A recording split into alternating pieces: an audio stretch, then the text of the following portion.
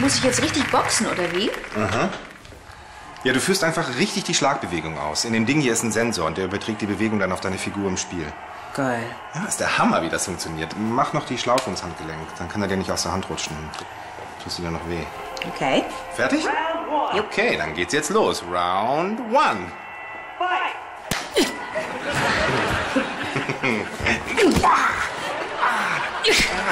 Nee, so leicht kommst du nicht durch meine Deckung.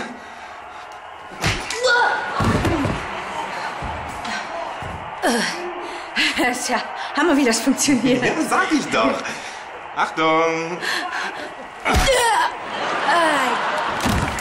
K.O. Geil, oder? Hammer.